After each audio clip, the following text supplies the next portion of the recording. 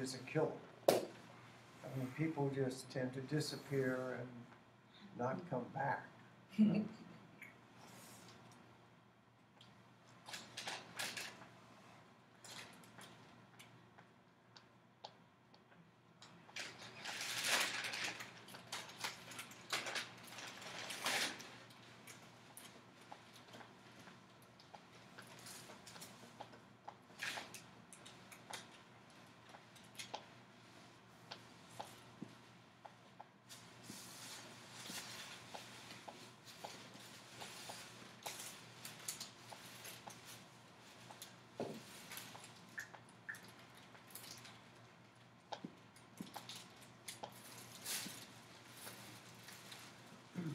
All right, well, let's just go ahead and get started, and let's do this.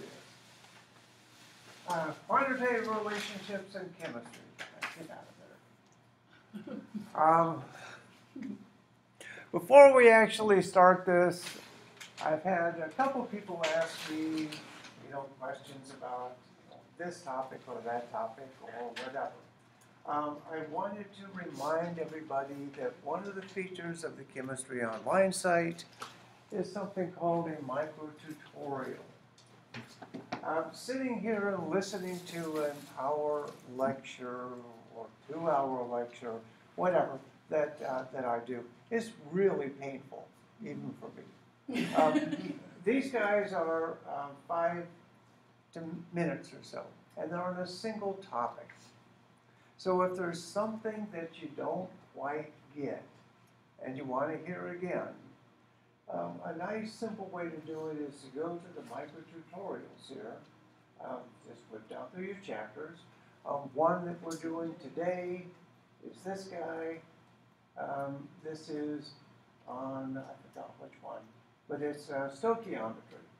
And what it does, it just goes through only the slides to do with that and explains it slowly and clearly, hopefully. And so if you have a question, in five minutes, you can almost always get it resolved. And virtually every major topic in the course is covered here, so it's a nice way to review if there's something that's just sticking with you. All right, quantitative things in chemistry. We're basically talking about stoichiometry again. Um, we talked about this, reactants going to products, um, the arrow here, of course, has the properties of an equal sign. This is aluminum as an element, bromine as an element, react and give the compound aluminum bromide. Uh, this is our equation. Uh, it is not balanced, is it? If you look at it here, we have one aluminum and one aluminum, that's fine. But we have three bromines and only two here. Um, to make them both even, we would want to double this, which means we would need two aluminums. And that gives us six bromines, so we would need three Br2s. So it would look something like this. Come on. There we go. Two aluminums, three bromines, two aluminum bromides. Now, when we talk about the stoichiometry of a reaction, what we're going to do today is to use the basic concept of stoichiometry to calculate what's known as a theoretical yield. That is, if the reaction went perfectly, we would expect two aluminums, three bromines to give us two aluminum bromides. That's the theoretical yield in this reaction. Now, in reality, theoretical yields um, are very seldom observed. And that's because um, the way chemical reactions occur, there are many, many different pathways that can be followed. The one that we typically describe is the major pathway. But there are lots of side reactions that can happen as well. Um, side reactions take away from the theoretical yield. They give us the, quote, actual yield. And later in the uh, chapter here, we'll talk about how to calculate that as a percentage. But again, theoretical yield is simply based on the stoichiometry. Two aluminums, three bromines, two aluminum bromides. So let's look at a simple stoichiometry problem here. We have ethanol. Ethanol is the alcohol of consumption. Um, it burns. That means it reacts with oxygen. When it does, it gives carbon dioxide and water. If we have two and a half moles of ethanol, how many moles of CO2 will we get? That's the question. Now we're going to do this problem two ways. First of all, we're going to use our uh, given ratio algorithm method because that's simple, that always works. And then we're going to do um, what I refer to as a pair of ratios. It's the same uh, thing effectively, but it's even a little simpler than that. So let's look at this in terms of a given find sort of thing. According to this equation, one mole of ethanol gives us two moles of CO2. So that's a ratio. We can say one ethanol, two carbon dioxides. That's a ratio. Now up here, we are given that we have two and a half moles of ethanol. So we have a given, and from the stoichiometry here, of one to two, we have a ratio.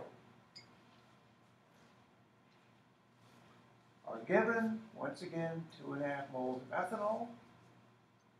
Our ratio, one mole of ethanol gives us two moles of CO2. Now I've set up this ratio this way because the units of given, remember, that's moles of ethanol, have to be in the denominator. That's the rule. So when we set this up, we're simply going to take our given, multiply it by our ratio, and we're going to find the number of moles of CO2. There's our given. Once again, our ratio. We get two CO2s for every ethanol. The way this is set up, moles of ethanol will cancel on both sides. We're only left with moles of CO2 as our um, find. So we uh, simply do our multiplication, two and a half times two. I can even do that in my head. That gives us five moles of CO2. So looking at our problem, if we had two and a half moles of ethanol, we would get five moles of CO2. Our ratio here is one, gives us two. Two and a half times two is five. Any questions? So let's do this again using a pair of ratios. Again, this is even going to be simpler. We're going to do two mole ratios, a known and an unknown. What you do is you want to look at your problem and figure out what two parts of the problem you're working with. And it's going to be CO2 and ethanol. So again, we look at our stoichiometry. One mole gives us two moles. So we can set up our first known ratio simply by taking the ethanol to CO2 ratio, and that's 2 moles of CO2 for every mole of ethanol. That's straight from the equation. Now, the unknown ratio, what are we trying to find? We're trying to find moles of CO2 right? So let's call that x. nice thing to call it, we'll call it X. How many moles of ethanol are we given? Two and a half. So our unknown ratio is simply going to be X over 2.5.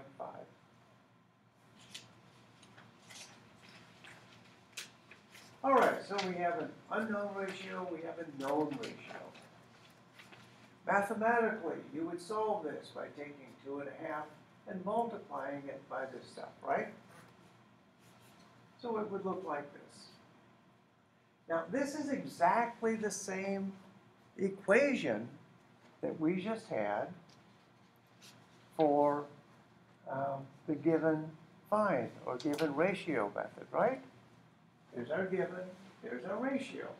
And again, these cancel. So the two methods are entirely equivalent.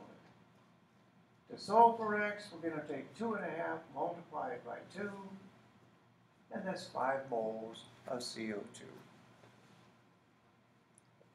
Now, in this chapter, we're going to focus on using the ratio method. A known ratio and an unknown ratio. It actually makes it much simpler once you get going. Any questions?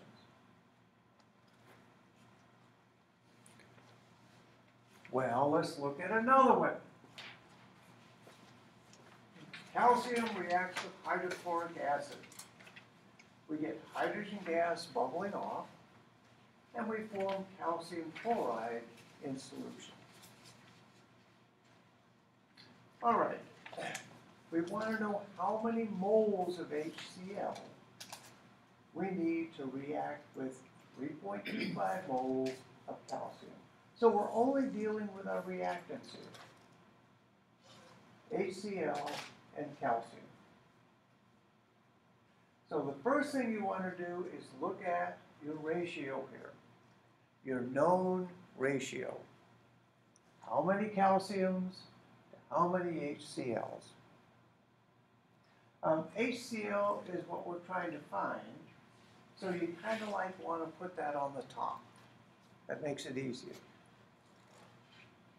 So our ratio here would be 1 mole or 2 moles of HCl over 1 mole of calcium.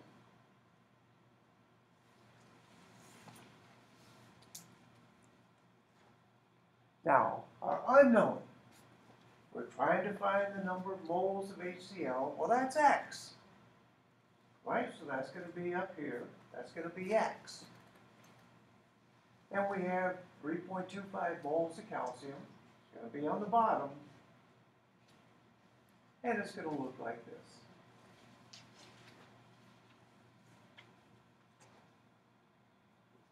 Now, just like before, all we have to do is take 3.25, multiply by 2, divide by 1. The equation will look like this. Again, entirely equivalent to our given ratio thing. That's given, here's our ratio.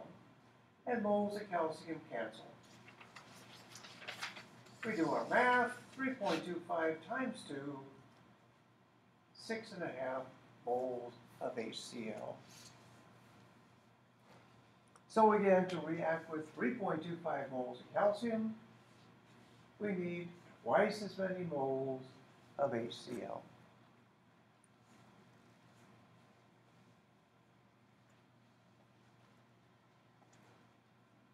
Any questions? Simple molar stoichiometry. Let's do one more. Ethane is a hydrocarbon. Reacts with oxygen, that means it burns, to give CO2 and water.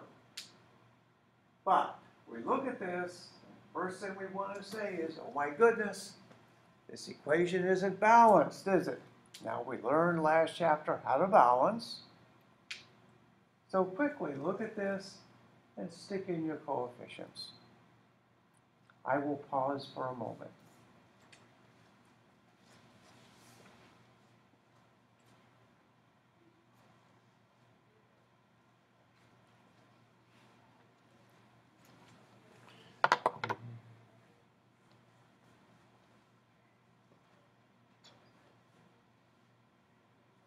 so I'm gonna try to use this thing again. I hope I can figure it out. First thing I would do is say, gee, we have two carbons on this side and only one on this side. So let's start out by putting a two in there. So now we have the same number of carbons, right? Um, we have six hydrogens on this side and only two on this side. So we would need to stick a three in here, wouldn't we?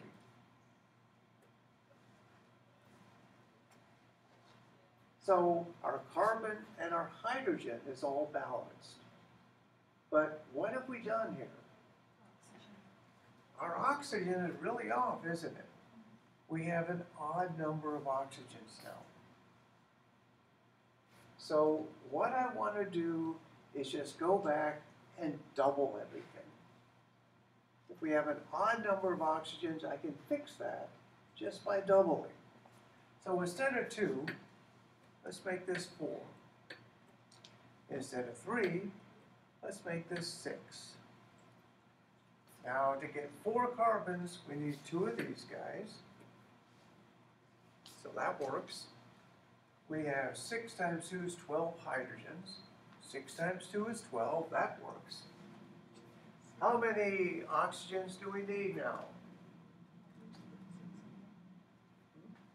Well, so you just put the six in front of Well, let's see, let's count. We have eight and six. 14, So you need seven. We need seven of them, because remember, they come in pairs. So let's, now see if I can erase this. And then push my button. And by gosh, we got it right. So this is one of the things that you do when you balance more complex equations. If you go and you fix it and you wind up again with another odd or something, just try doubling everything and then just keep going. Um, th- This is a little more complex. All right, so let's work with our problem here. We are given that we have 1.7 moles of CO2. We want to know how many moles of oxygen are involved. So we're dealing with oxygen CO2 as our pair. So step one, we look at our equation. It takes seven moles of oxygen to get four moles of CO2. So our ratio is going to be seven to four. Now we're trying to find moles, that's our x. So let's put oxygen on the top. Seven moles of oxygen, four moles of CO2. Our unknown here is moles of oxygen, so that's an x. And our given here is 1.7 moles of CO2, so that's going to go down in the denominator. And our unknown ratio then will look like that.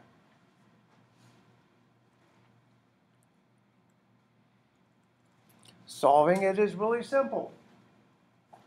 Going to take 1.7 and multiply it by this group. Again, our given and our ratio.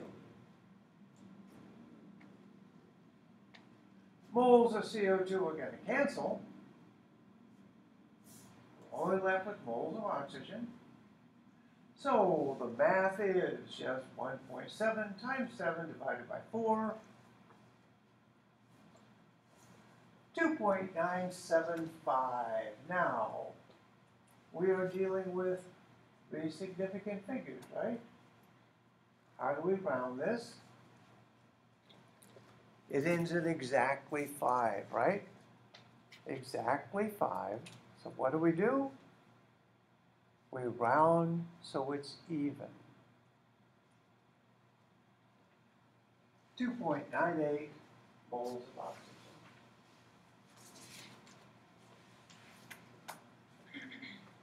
Now, it's a fairly simple concept, isn't it? You decide which pair you're dealing with in your reaction. You set up a ratio. You define your unknown as x. This is on the denominator under x. And you do your calculation. Any questions?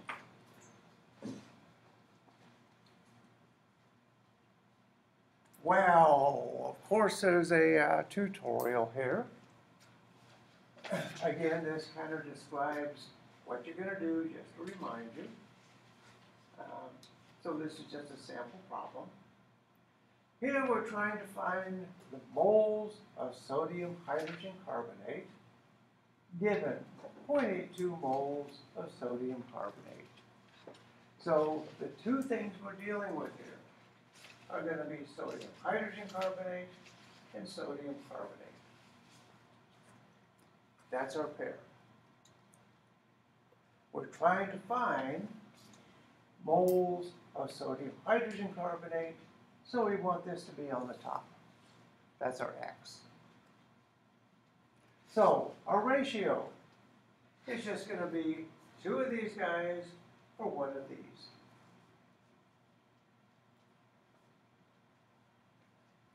Our unknown ratio is going to be how many sodium hydrogen carbonates and then 0.8217 moles of sodium carbonate. That's the unknown ratio. Mathematically, we just take 2 multiplied by this, divide by this, and we wind up with 1.643 moles of sodium hydrogen carbonate.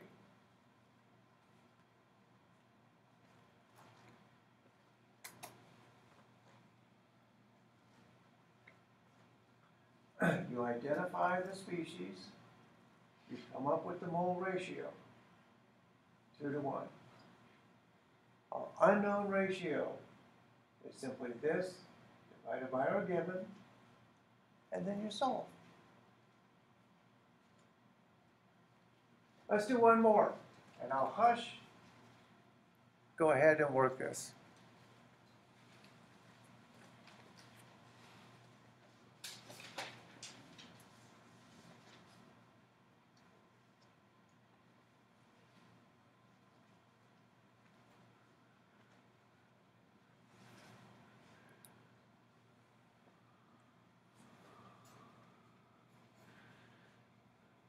Oops.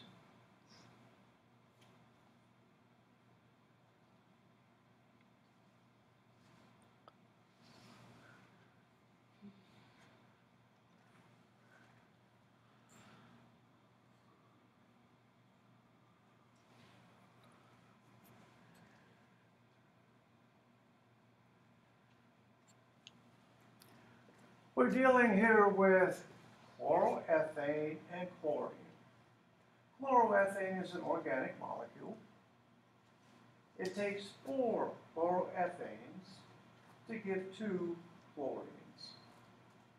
So our ratio here is going to be four and two. We're trying to find moles of chloroethane, so we want that to be our X. We want chloroethane to be in the numerator. So we're going to have X moles of this, and 0.9922 moles of chlorine.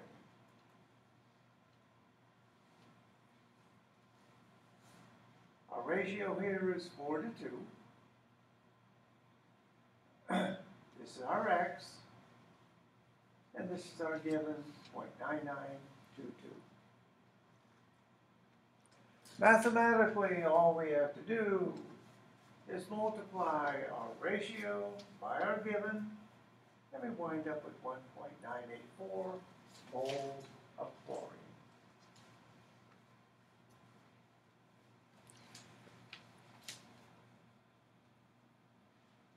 Any questions? Nice and simple, really. I mean, stoichiometry can be very complicated.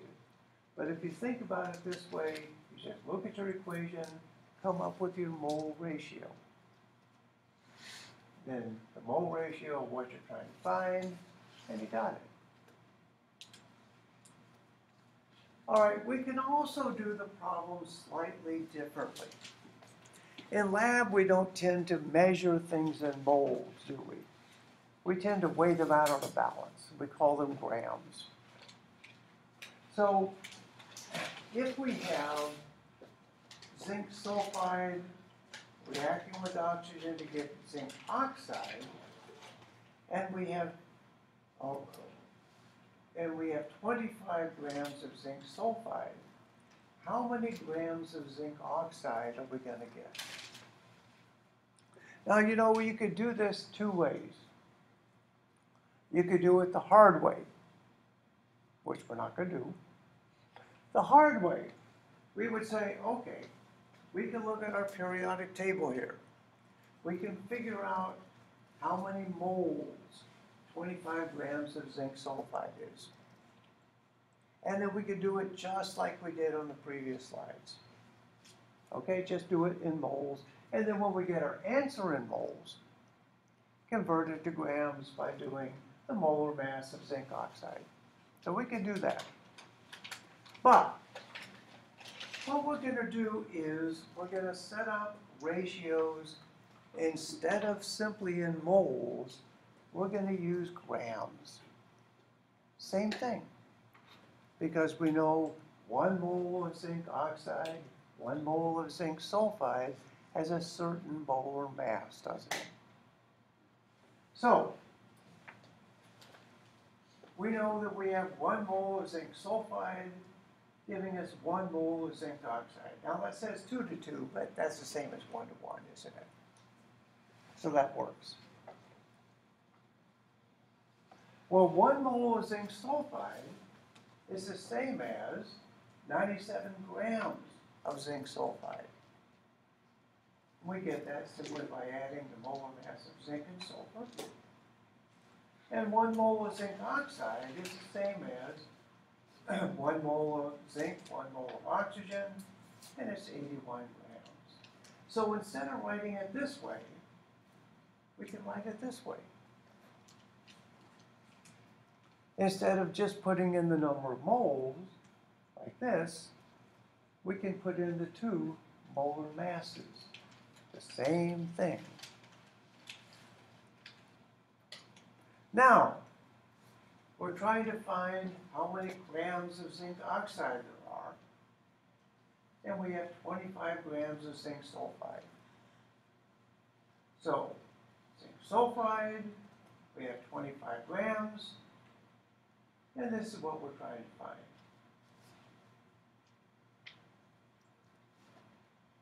Now, I hate it when I do this. you know, mentally, the math is just so much more transparent. If x is up here in the numerator, isn't it? But sometimes when you're setting the problems up, you don't think ahead, and you just set them up upside down. Well, if you do, very simple solution. All you do is turn them both upside down, like that. Now, how is that legal? We're taking the reciprocal on both sides. You can do the same thing on both sides of an equation, remember. So we just take both of these, flip them upside down, and now we have zinc oxide up where it belongs. the math is now trivial. 25 times 81 divided by 97.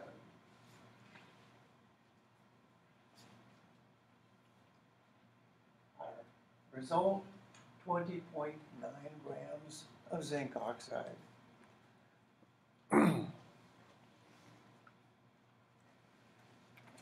so what we've done here, instead of just writing this in terms of moles, we converted moles into grams. And again, we can do that because this is the molar mass of zinc oxide.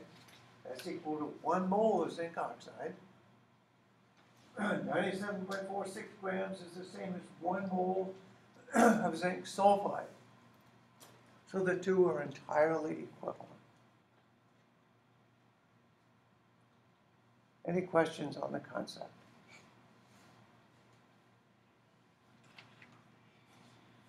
All right, well, let's do it again. Here we're taking fluorine and water, and we're making hydrogen fluoride and oxygen. So that's our equation. Let's see, we're looking for grams of water, so that's our unknown, that's our x. And we have 62 grams of HF.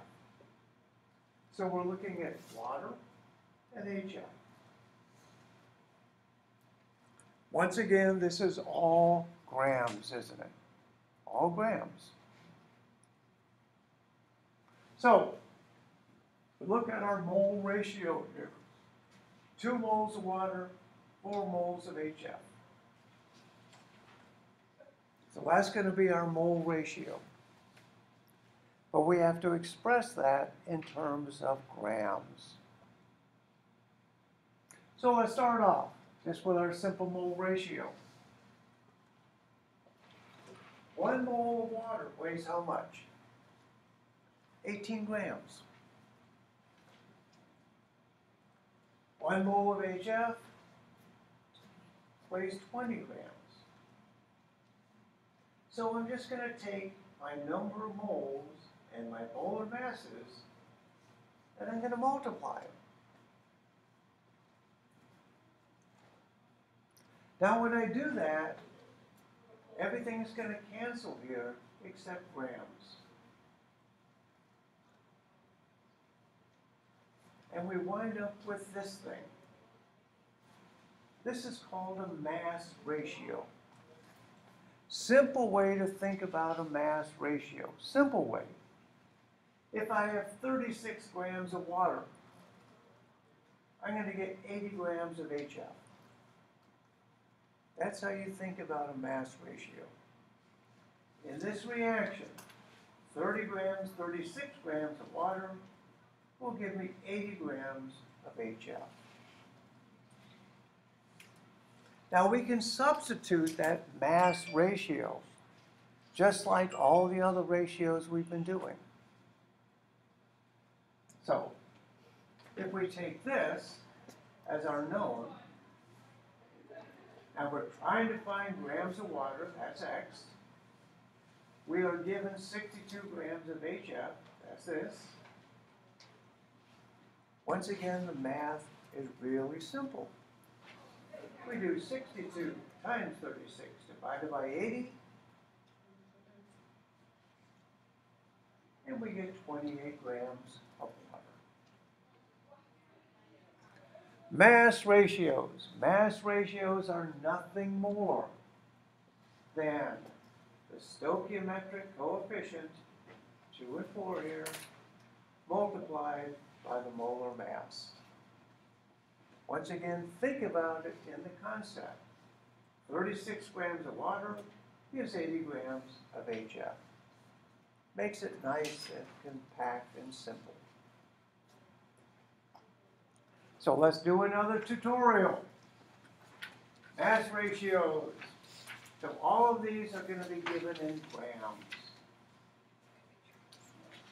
What is this stuff? COO. What would you call that? Cobalt. We need a Roman numeral here. Has to be cobalt 2 oxide, doesn't it? As oxygen will be minus 2, so this has to be cobalt 2. This is also cobalt oxide, but what is it? Three. Cobalt 3 oxide. So here we're converting cobalt 2 oxide to cobalt 3 oxide. And we're doing that by reaction with oxygen.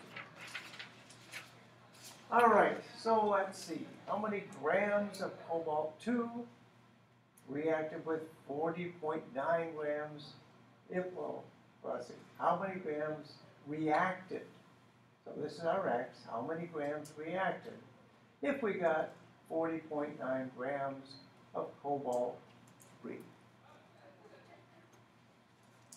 So we're looking here at cobalt two and cobalt three as our pair.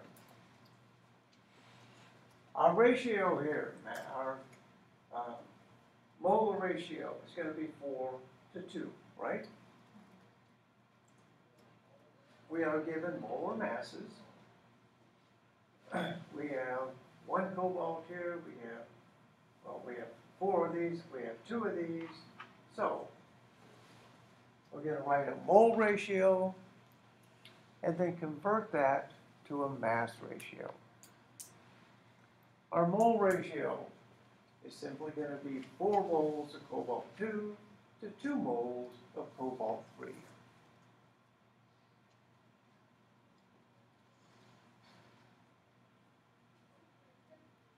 Our mass ratio, we have to multiply this now by the molar mass of cobalt two, that's this guy, and multiply two here by the molar mass of cobalt three.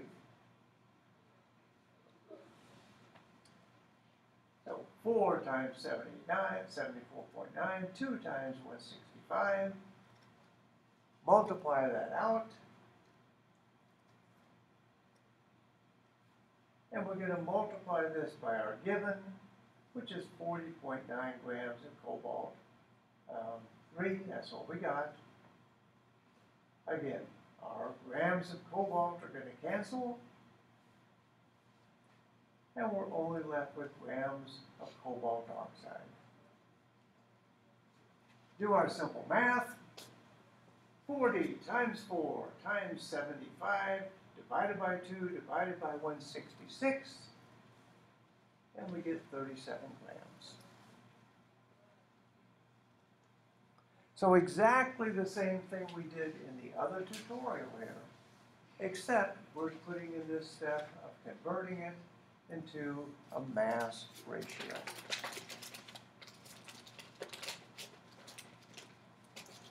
Any questions?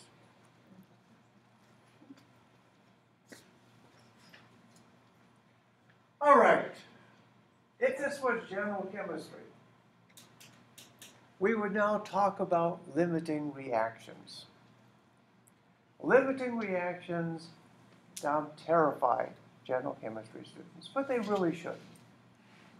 When you have a limiting reactant problem, what it means is that you're given molar amounts of both reactants. And they're not, they're not always identical to what you need to do the reaction. One will typically be in excess. The one that's not in excess is called the limiting reactant. Um, there's some horrendous math that you can do here, but we're not going to do it. That's the good news. Instead, we're going to look at gloves. If you have children, you know about gloves. In our pile here, we have four left-handed gloves and three right-handed. How many pairs of gloves can you make? You can only make three, right? You can only make three. And there's one left over. In this case, the left-handed gloves are in excess. We have one left over. Right-handed gloves are limiting as to how many pairs you can make. So in terms of chemistry, the limiting reactant here would be right-handed gloves, only three of them, and we can only get three moles of product. And we're left with something left over. That's all in the world limiting reactant problems are. So let's do this in terms of real chemistry. If you take fluorine and react it with chlorine, you can make chlorine trifluoride. Okay? So what if I showed you this picture? Here we have one, two, three molecules of chlorine. Is, green. And we have one, two, three, four, five, six molecules of fluorine. How many moles of fluorine trifluoride are we going to make?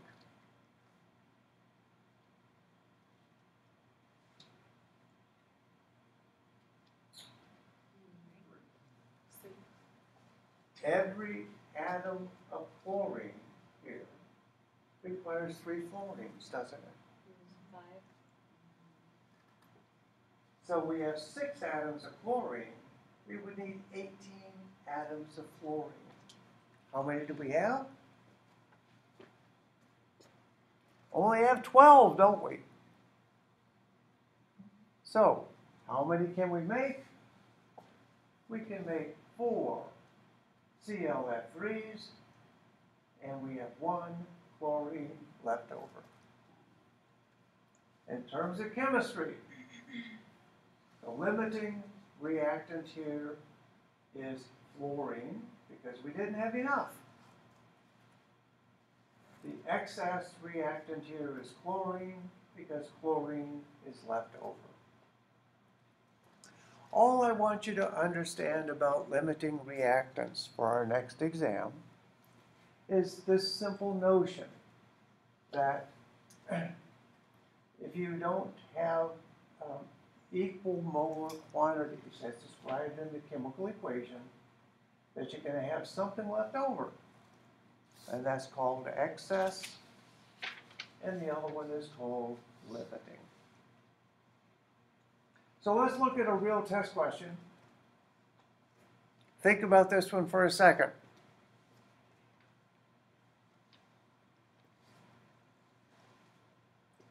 We have nine moles of fluorine and three moles of chlorine.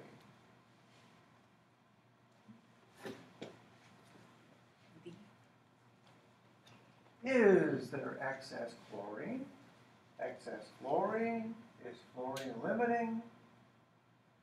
Or have we consumed everything? Yeah, Look at your equation here. It's for every mole of chlorine, you need three fluorines, don't you? We have three fluorines, nine fluorines. That works, doesn't it? Mm-hmm. All the reactants have been consumed.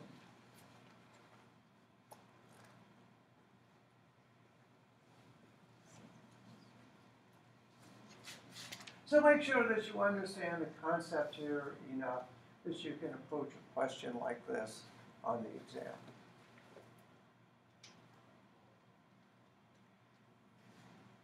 All right, let's do one more trick here. Way back at the start, we looked at the reaction of aluminum and bromine to give aluminum bromide. Two moles of aluminum bromide here are our theoretical yield. Once again, that means if everything worked well, three moles of bromine would give us two moles of aluminum bromide. The theoretical yield here is two moles of aluminum bromide. Now, this doesn't always quite work that way, like I said. You will always get less stuff than you expect. And what we're going to do is learn to calculate a percentage yield. So let's look at an example. Here we have chloroacetic acid, an organic compound. Again, reacting with oxygen, so it's burning. We're making carbon monoxide, water, and HCl. How many moles of oxygen reacted with chloroacetic acid if we got 0.2645 moles of carbon monoxide? Now, this is just a simple molar stoichiometry problem, isn't it? According to our equation, one mole of oxygen yields four moles of carbon monoxide. So we're looking at this pair. We're gonna set up our ratios between oxygen and CO.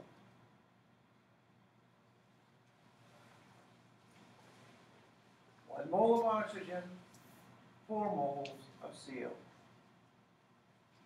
Now, we have 0.26 moles of carbon monoxide that we made, and our moles of oxygen is our X.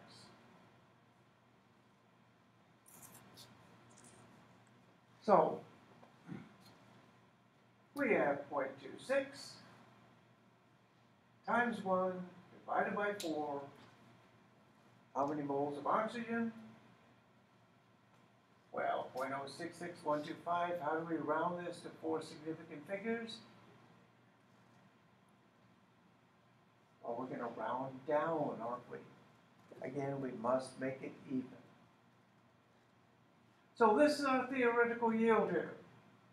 We should get 0.06612 moles of oxygen.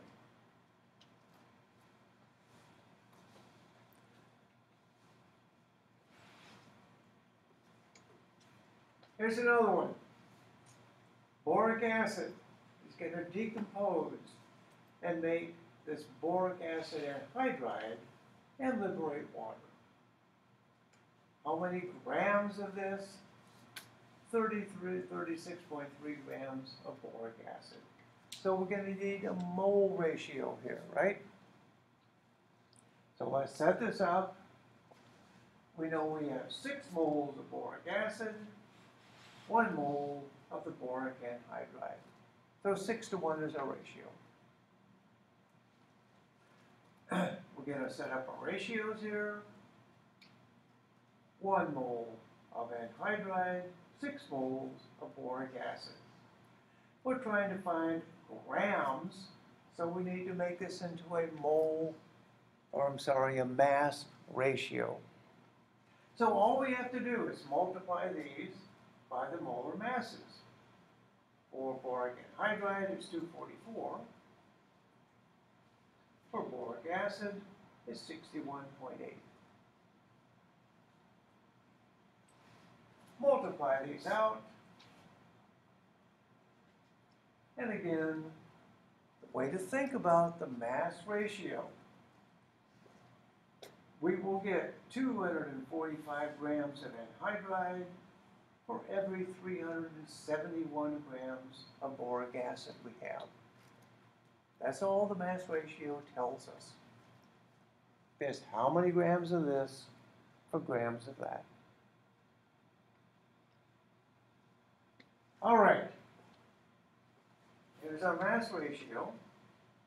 We're trying to find grams of anhydride, so that's X. And we have 36 grams of acid. 36 times 245 divided by 371. Our theoretical yield is 24 grams. So theoretical yield is exactly the same exercise we've done all day. Either in moles or grams, it's just a theoretical yield.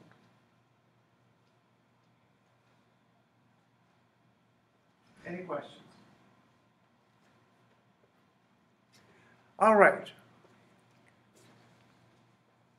We've just done the theoretical yield. We, we could do that with moles or with mass. The actual yield is what we actually get. Now, you know, this can be from parallel reactions. It can be that you were in lab and your lab partner sneezed and blew half the stuff out the, you know, on the floor, whatever. Actual yield is what you wind up with. Percentage yield is simply the ratio. How much you actually got, how much you should get, multiplied by 100. That's the percentage. Simple example, popcorn. Here I have 20 kernels of popcorn. Okay? What's our theoretical yield here? 20 popped kernels.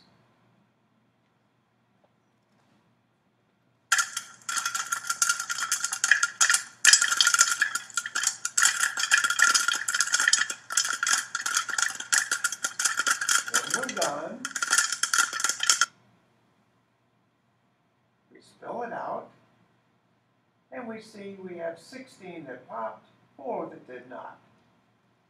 What's our percent yield? Theoretical was 20. Actual is 16. Divide the two, multiply by 100. This is 80% yield. That's all in the world percent yield problems are. How many moles or how many grams you're supposed to get, how many moles or grams you actually do get, take the ratio, multiply by 100. That's simple, isn't it? Chemical problem. We're taking aluminum and sulfur and making aluminum sulfide. This is actually a very neat reaction. It like goes off with great vigor. We have five moles of sulfur. We should get 1.7 moles of aluminum sulfide. That's our theoretical yield. We should get that. When it's all done reacting, we get one and a half moles. What's our percentage yield? What you actually get divided by what you should get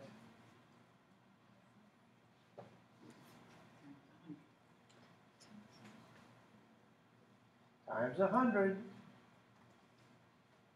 So 1.5 divided by 1.7 times 100, 88%. So that's all in the world is this is. What you should get, what you do get, what you do get is always in the numerator.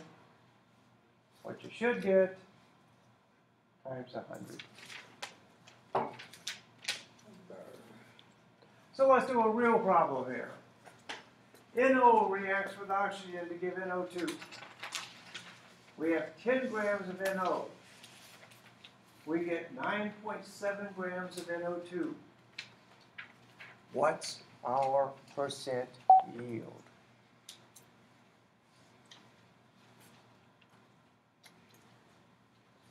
Let's start off with our mole ratio. We're dealing with NO and NO2. So that's a 2 to 1, uh, 2 to 2. So that's 1 to 1, isn't it? So that's good. 1 mole of NO gives 1 mole of NO2. These are our molar masses. So we're going to convert this to a mass ratio. 29 divided by uh, 45.98 is the same thing as 1 mole and 1 mole.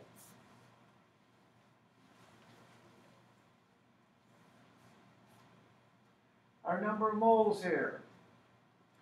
We had 10 grams of NO, and it weighs 30 grams per mole. Mass over molar mass gives us what? Moles. Over here for NO2, our mass was 9.7 grams. Our molar mass is 46. Mass over molar mass gives us moles. And we got 0.21 moles. Now we started here with 0.33, didn't we? So how many moles of NO2 should we get? 0.33. But we didn't. So to calculate percent yield, simply take what you got divided by what you should get times 100.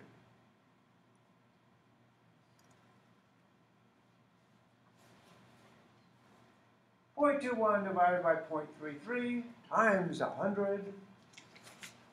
This went in 63% yield.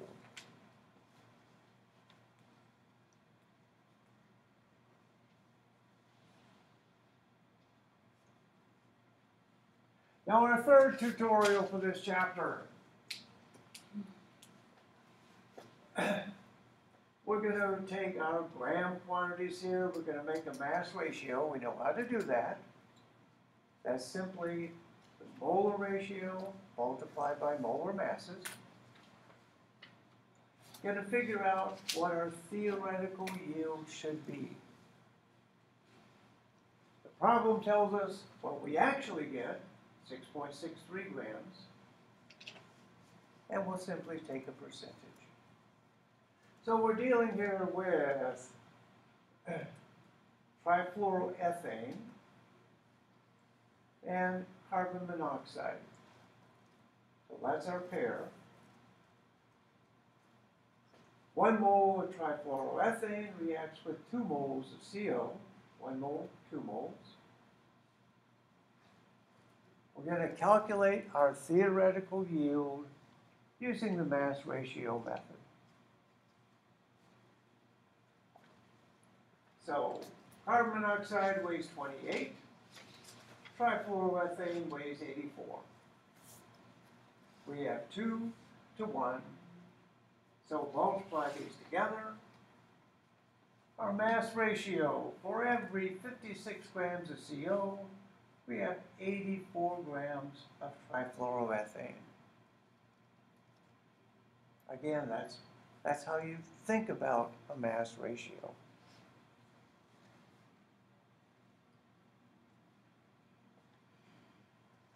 Now, we have 15.6 of trifluoroethane. That's our given. Here's our ratio.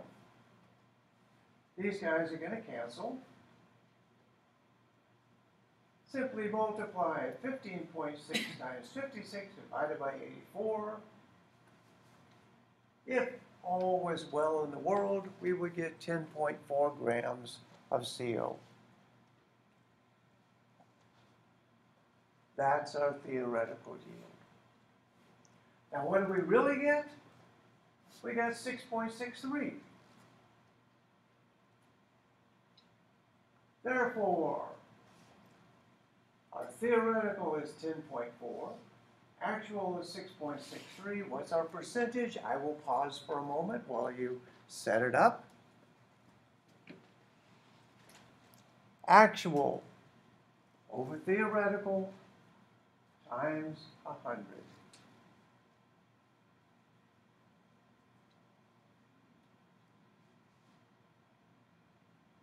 And we're at 63.8.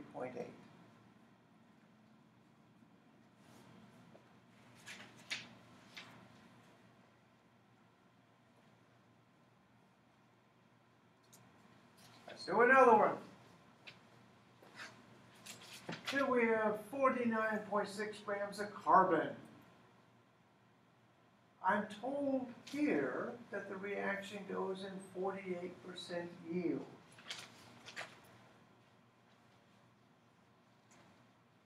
How many grams of CO are we going to get?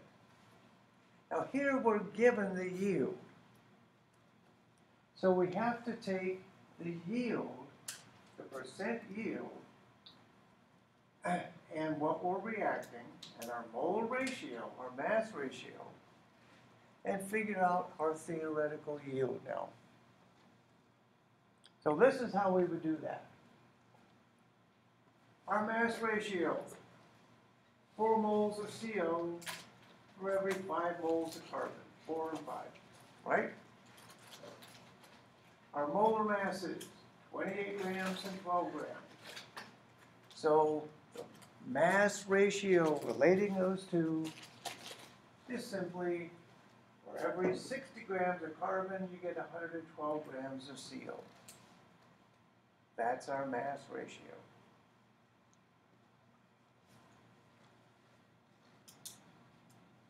Now, we're dealing with forty-nine point six grams of carbon. These guys are gonna cancel.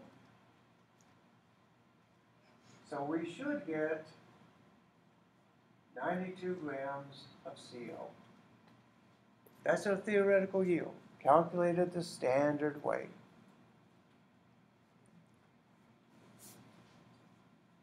So we have our theoretical yield. We know our percent yield. So to get the actual yield, all you have to do is multiply 0.48 times this. You did forty-nine to, Hmm? Go back? Sorry. you did forty-nine point six times what? But th- that is, um, forty-eight point eight, this is our percent yield in the problem. So we're given that it only goes in forty-eight percent. I'm saying, but how did you get ninety-two point five? How do we get ninety-two point five? Well, again, we set up our mass ratio here. We look at our problem, four moles to five moles, okay? Every mole weighs twenty-eight, every mole weighs twelve. Simply multiply them together, get a ratio. For every sixty grams of carbon, we get hundred and twelve grams of CO. That's what the mass ratio tells you. Now, Sorry, I'm still, no. You did forty-nine point six times here, forty-nine point six, that's our given. See, that was hidden by the slide. We are given that we have forty-nine point six grams of carbon. So all we've done is multiply our given by our ratio, cancel, and we get grams of CO. Oh, okay, that's, that's what I was asking. Going to the card, I was trying to see the final math step, I didn't know what you did. That's what you did, you did forty-nine point six. Yeah, this is the same type of problem we've done basically all day, Mhm. just using a mass ratio method. All right, so our theoretical was ninety-two point five. We're given that we have forty-eight percent yield. So what was our actual yield? Remember, forty-eight percent is 0.48. This is what we're supposed to get. 0.488 times ninety-two point five. Our actual yield was only forty-five grams of CO.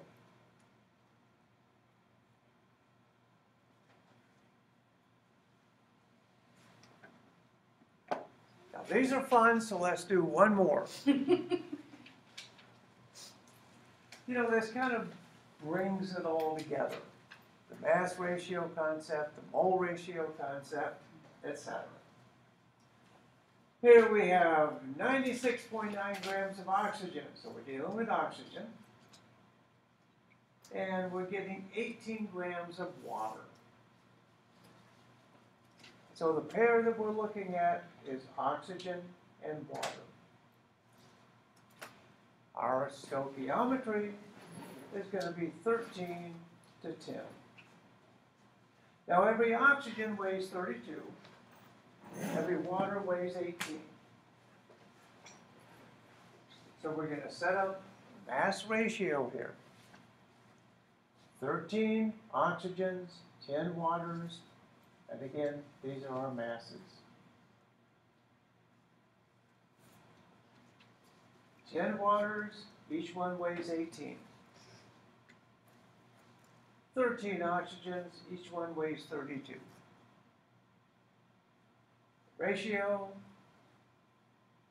for every four hundred grams of oxygen, we get hundred and eighty grams of water. That's what the mass ratio tells you. All right, now we are given that we have ninety-six point nine grams of oxygen. That's our given. Here's our ratio.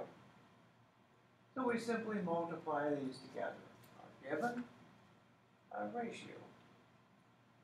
Grams of O2 cancel. Just left with grams of water. Our theoretical yield, the theoretical yield, is simply going to be 96.9 times 180 divided by 416, or 42 grams. So if everything worked well, we would get 42 grams of water. What did we get? 18 grams of water. Oh my goodness. So our theoretical here is 42. We only got 18. What's our percentage? Actual divided by theoretical times 100.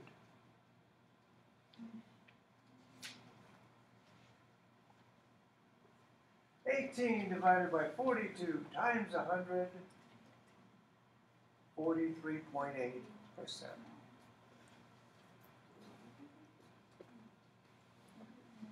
Now on the exam, um, um, these things are gonna be presented in terms of concepts more than real complicated calculations. But to get yourself prepared, remember, we have three tutorials we've done. Stoichiometry, mass ratios, and percentage yield, five points each on the next exam. Okay? So let's do our best and get this done.